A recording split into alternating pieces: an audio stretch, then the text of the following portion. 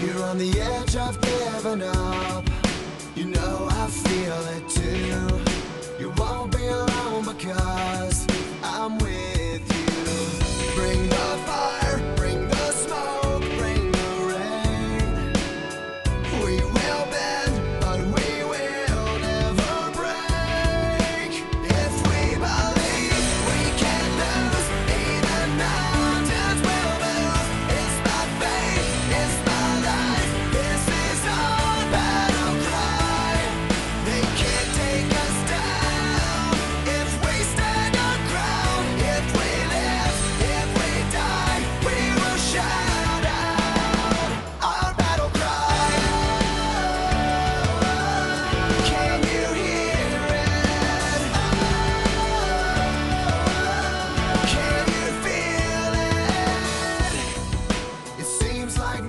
now.